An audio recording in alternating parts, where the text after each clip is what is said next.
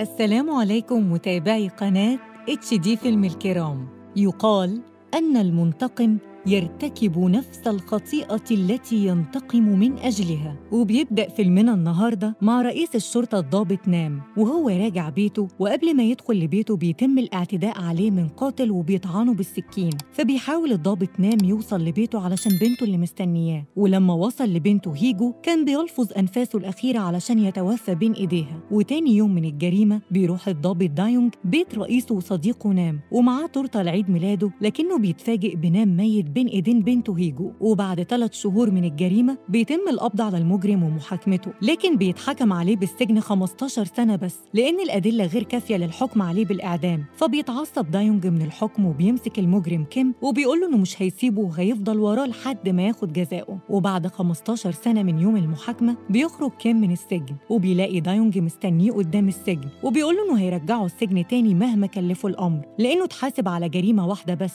لكن في ست جرايم لسه ما اتحاسبش عليهم. وبيديله الكارت بتاعه وبيقول له لو حبيت تكفر عن ذنوبك كلمني وبيمشي. فبيعرف كيم إنه هيواجهه متاعب كتير بسبب مطاردة دايونج ليه. وبيرجع دايونج مكتب الشرطة وبياخد 10 دولار من كل شرطي موجود كراتب شهري لهيجو. وبنروح لهيجو اللي بتشوف شخص بيضرب مراته وبتوقفه وبتقول له إنه ما ينفعش يعامل مراته بالطريقة دي لكنه بيشتمها وبيقول لها تمشي من قدامه. فبتقول له إنه لو فضل يتعامل مع مراته بنفس الطريقة دي فهيموت قريب وبتسيبه وبتروح مكتب الشرطة. وهناك بتشوف مدير المكتب ومعاه الضابط دايونج. بيدوها مرتبها الشهري وبتشكرهم هيجو وبعدها بيطلب دايونج من اتنين من مساعدينه يراقبوا كيم. وبينزلوا يراقبوا كيم فعلا فبيسأل واحد فيهم التاني عن سبب سجن كيم. فبيقول له إن الموضوع ده عدى عليه 15 سنة. وبيقول له إن كيم كان بيكسر إيد الضحية وبعدها بيخنقها أو بيضربها في رقبتها بسكينة بدقة كبيرة وده اللي عمله مع الرئيس نام. وفي جريمة من جرايمه في حد بلغ عنه اسمه جونج واتحبس 15 سنة وبيوصلوا الفندق اللي موجود فيه كيم وهناك بتتم جريمتين قتل قدام الفندق من شخص مجهول. ولما بتوصل الشرطة تاني يوم الصبح بيتهموا كيم لكنهم لما فرغوا الكاميرات بيعرفوا إن كيم ما خرجش من الفندق طول اليوم. لكن دايونج بيصر إنه يقبض عليه وبياخدوا معاه مكتب الشرطة وبيتهموا بقتل الضحيتين. لكن كيم بينكر وبيقول له إنه ما خرجش من الفندق اليوم كله وبيقول له يدور كويس علشان لما يقبض عليه ما يطلعش براءة زي آخر مرة. وده بيعصب دايونج فبيضربه وبعدها بيطلب من مساعدينه يطلقوا سراحه وبعدها بيطلب دايونج من مساعدينه ملف الشخص اللي بلغ عن كيم في القضية اللي اتحبس فيها وبيعرف إن اسمه جونغ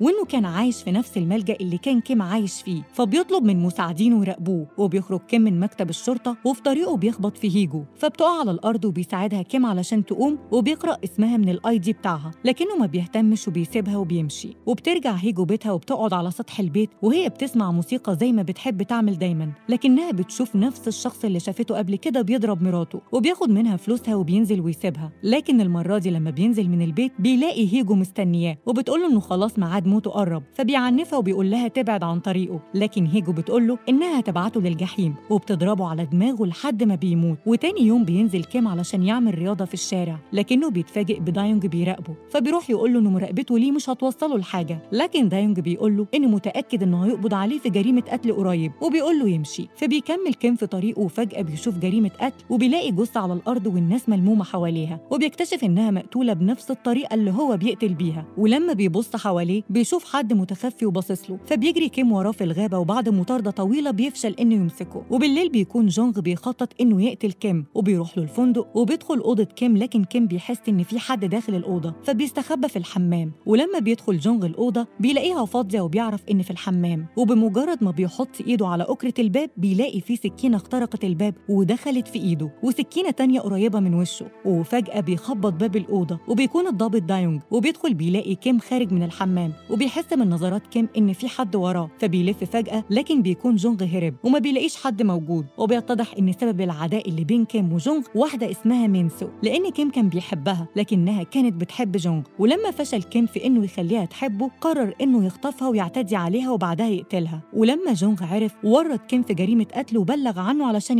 يتعدم لكن كيم ما اتعدمش واتحكم عليه بالحبس. فقرر جونغ يستناه لما يخرج من السجن ويقتله بنفسه وقرر كيم إنه هينتقم من جونغ أول ما يخرج من السجن. وتاني يوم بتروح هيجو تزور زوجة الشخص اللي قتلته وبيتضح إن الست دي مامتها لكنها انفصلت عن باباها من زمان واتجوزت من شخص تاني وعاشت هيجو مع باباها قبل ما يتم قتله. ولما بتوصل هيجو البيت بترن الجرس لكن مفيش حد بيرد. فبتفتح هيجو الباب وبتتفاجئ مامتها على الأرض وميتة وجنبها أزايز سم وفي إيدها صورة لهيجو وهي صغيرة وحواليها صور كتير ليها. فبتتصدم من المنظر اللي شافته وبتقعد على الأرض جنب مامتها منهارة. وبعدها بترجع هيجو بيتها وبتفضل تدور في الأدلة والملاحظات اللي قضت عمرها بتجمع فيها علشان توصلها لشخصية القاتل اللي قتل باباها. وبعد تفكير كتير بتعرف إن جرائم القتل اللي تمت في السنين اللي فاتت ومنهم جريمة قتل باباها بتدل على إن القاتل شخصين مش شخص واحد وإن واحد فيهم بيقتل ضحيته بطعنها والتاني بيشوه ضحيته بعدها بيقتلها. وبتروح هيجو وتشتري طوق كلب كبير وبتشتري عدد كبير من الأزايز الفاضية وبتوديهم بيت جونج وبتفرش بيهم أرضية البيت. ولما بيرجع جونغ البيت بالليل بيحاول يفتح النور لكنه ما بيتفتحش. ولما بيدخل البيت بيلاقي هيجو مستنياه فبيسألها أنت مين؟ لكنها ما بتردش عليه وبترمي سلك الكهرباء على الأرض فبتتكهرب الأرضية وبيقع جونغ على الأزايز المكسورة فبيموت متشوه ودي نفس الطريقة اللي هو كان بيقتل بيها ضحاياه وبتاخد هيجو جثة جونغ وبتوديها الفندق اللي قاعد فيه كيم وبتحطها على السرير وبتغطيها. ولما بيجي كيم ينام بيتفاجئ بالجثة في السرير ولما بيكشف وشها بيعرف إنه جونغ وفجأة بتهجم عليه هيجو من غير ما يشوفها. وبتضربه في سكينة بجنبه وبتخليه يفقد القدرة على الحركة. وبعدها بتخنقه هيجو لحد ما بيفقد الوعي. وبتبلغ هيجو الشرطة علشان يجوا يمسكوا كيم متلبس بقتل جونغ. وبتوصل الشرطة مكان الجريمة لكنهم بيلاقوا كيم هرب ومش موجود في الأوضة غير جونغ. فبيأمر دايونج ومساعدينه يدوروا على كيم في الفندق كله لأن آثار الدم بتدل على إنه لسه موجود في الفندق. وبتنجح الشرطة فعلا في إنها تلاقيه لكنهم بيلاقوه ضحية موجودة معاه. والاتنين فاقدين الوعي. وبتيجي الإسعاف تاخدهم وفي الطريق بيفوق كيم وبيضرب الدكتور فبيفقد الوعي. لكن الضحية الموجودة معاه بتشوفه فبيقرر يقتلها عشان ما تبقاش شاهدة عليه وبعدها بيهرب. وبتفتكر هيجو إن الموضوع انتهى وبتحس إنها أخيرا تقدر تعيش حياتها بشكل طبيعي كأي بنت في سنها. ولكن سعادتها ما بتكملش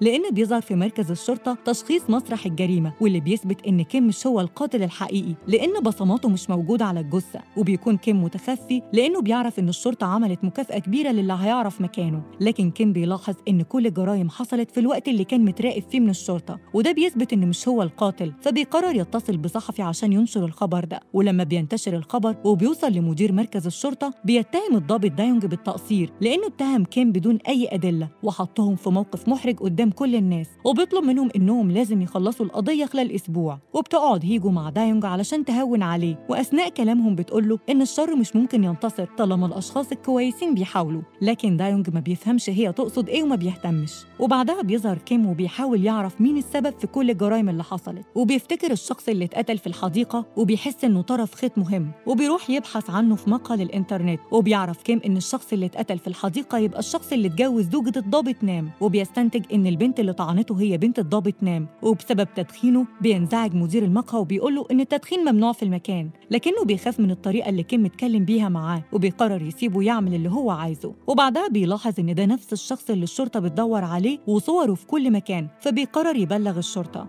وبيروح دايونج فعلا للمكان اللي اتبلغ إن فيه كيم. وبياخد واحد من مساعدينه معاه لكنه لما بيدخل المكان ما بيلاقيش كيم موجود. ولما بيدور عليه كويس بيكتشف إنه مستخبي في أوضة لكن كيم بيخرج بسرعة وبيدفع دايونج وبيحاول يهرب. وبعد قتال بينهم بينجح كيم إنه يهرب. وبيخرج من المقهى لكنه بيلاقي مساعد دايونج موجود بره فبيهدده بالمسدس. لكن كيم بيبقى أسرع منه وبيضربه بسكينة وبيدخله العربية وبيهرب بيها. وبيدخل كيم مركز الشرطة بالعربية لأنها في الأصل عربية شرطة ومفيش حد بيوقفه على البوابة. ولما بيدخل بيروح مكتب المعلومات وبيسأل عن الرئيس نام لكن الضابط الموجود بيقول له إنه جديد هنا وما سمعش عن الاسم ده قبل كده لكن بيلفت نظر الضابط إن اسم نام هو تاني اسم الهيجو وبيقول لكيم إنه أكيد يقصد جالبة الحظ وبيقول إن جالبة الحظ بتشتغل هنا لأنها بتجيب لهم الحظ وده بيساعدهم في حل الجرايم لكنه بيستغرب إن كيم ما يعرفهاش فبيقول له كيم إنه اتنقل هنا قريب علشان كده ما يعرفهاش وبيطلب منه يكتب له عنوانها وبيروح كيم بيت هيجو وبيلاحظ إنه نفس البيت اللي قتل فيه باباها من أكتر من 15 سنة وبيرن الجرس ولكن فجأة المكان بيضلم وبتقدر هيجو إنها تطعنه في بطنه لكنه في نفس الوقت بيطعنها في دراعها. فبتواجهه هيجو وبتقول له إنها عارفة إن هو اللي قتل باباها وبتقول له إنها كانت مستنية اليوم اللي هتشوفه فيه من 15 سنة. وبتعرف الشرطة إن كيم عرف عنوان هيجو وبتروح كل القوى الأمنية بيتها. وفي نفس الوقت بتكون هيجو بتحاول تهرب منه وفي أثناء مطاردته ليها بيقدر يوقعها وبيقول لها إنها تدفع ثمن كل جرايمها ولكن بتقول له إن هو كمان هيدفع الثمن وبتطعنه في رجله وبتهرب منه تاني وبتكلم الشرطة وبتعرفهم مكانها وبتستمر محاولات كيم في إنه يمسك هيجو وبيمسكها فعلا وبيحاول يغرقها لكنها بتنجح في إنها تهرب منه مرة تانية وبتستدرجه لحديقة الأطفال ولما بيوصل كيم الجنينة بيستغرب من اللي هيجو بتعمله فبتقول له هيجو إنه كان السبب في مقتل كل الضحايا اللي ماتوا بما فيهم هي وإنها النهاردة قدرت تخلص كل واجباتها المنزلية اللي كان والدها بيسألها عنها دايما وبتشنق هيجو نفسها وبيتضح إن خطتها إنها تضحي بنفسها عشان يتقبض على كيم متلبس في مكان الجريمة وما يقدرش المرة دي يهرب من العدالة. وفعلا بتيجي الشرطة وبيقبضوا على كيم وبيتحاكم كيم على كل جرايمه اللي ارتكبها سواء زمان أو دلوقتي. وبيتم إثبات التهم عليه وبتحكم عليه المحكمة بالإعدام. وبكده بتكون العدالة أخدت مجراها. وهنا بيفهم الضابط دايونج أخيرا معنى الكلام اللي هيجو قالته لما قالت إن الشر مش ممكن ينتصر طالما الأشخاص الكويسين بيحاولوا.